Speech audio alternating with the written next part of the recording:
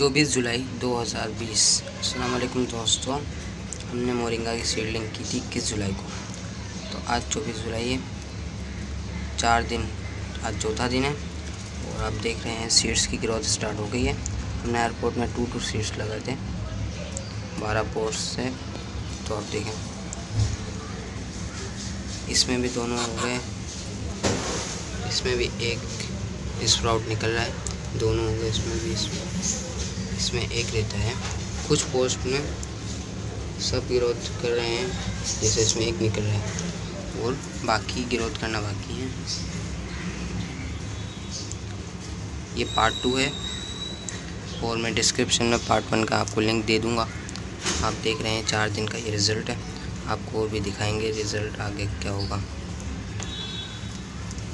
बहुत fast growth होती है इनकी।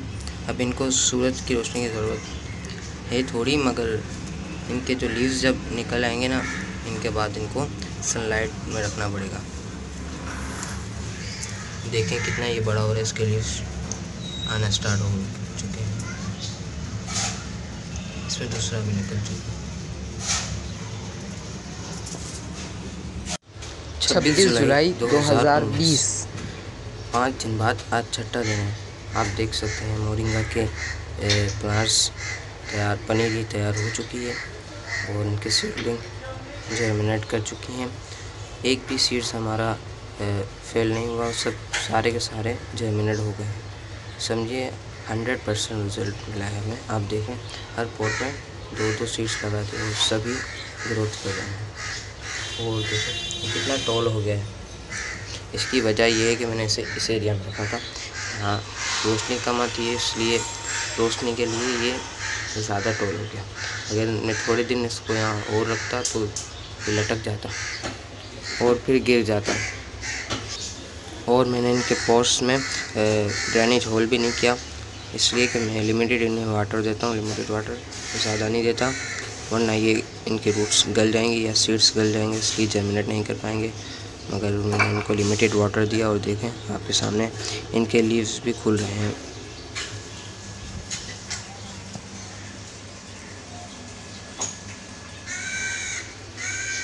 अब आगे की अपडेट आपको मिलती रहेगी।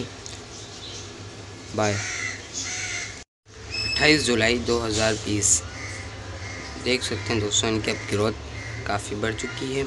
आज इनकी, इनका जर्मिनेट करने के बाद आठवां सीडलिंग करने के बाद इनका आठवां दिन है। तो इनकी आप ग्रोथ चेक कर रहे हैं। अब ये ट्रांसप्लांटिंग के लिए बिल्कुल काबिल हो चुके हैं, मगर इनकी वुड थोड़ी स्ट्रॉन्ग हो जाए, फिर मैं इनको ट्रांसप्लांट करूँगा बाहर। ये भी इनकी जो वुड होती है, ये लकड़ी नहीं बनती टिम्बर नहीं बनती। ये, इस तरह की लगती है कि टिम्बर है, मगर नरम होती है ये। ईज़िली टूट जाती है। तेज़ हवा चलने की वजह से और वैसे भी कराची में भी बहुत तेज़ हवा चल रही है। इसलिए मैंने कुछ दिनों बाद ट्रांसप्लांट करूँगा और आपको दिखाता हूँ उनकी पूरी ग्रोथ देखें आप।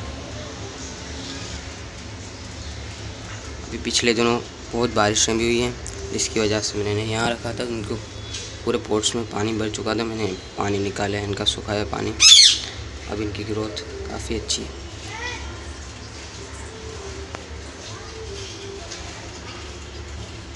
उनतीस जुलाई 2020 अस्सलाम वालेकुम फ्रेंड्स, आप देख सकते हैं, आज आठ दिन हो चुके हैं, सीलिंग लगाए हुए, और आज नवा दिन है। मोरिंगा की ग्रोथ आप चेक कर सकते हैं कितनी फास्टर है और इनके लीव्स काफ़ी लार्ज हो चुके हैं, क्योंकि इन्हें सनलाइट नहीं मिल रही यहाँ पे और काफ़ी इनकी जो ब्रांचेस हैं, इनकी जो स्टिक्स है, वो टोल हो चुकी हैं। ऊपर से आप इनकी ज़रूरत देखें बिल्कुल लश ग्रीन है। अभी इन्हें पानी की ज़रूरत है वाटरिंग इन्हें अभी मैं करूँगा। आप इनके सॉइल देखें, इनका सरफेस एरिया ड्राई हो जब इनका सरफेस एरिया ड्राई हो तो आपने इन्हें पानी देना है वाटरिंग करनी है। और कुछ दिनों बाद मैं इन्हें कैरिंग में भी शिफ्ट कर दूँगा बाहर जगहों पे और इलाके में। अभी इन्हें फर्टिलाइज़र की ज़रूरत नहीं है तो आपने कोई भी फर्टिलाइज़र अभी इन्हें प्रोवाइड नहीं करना। बाकी हमारा हंड्रेड परसेंट रिज़ल्ट अभी तक चल रहा है।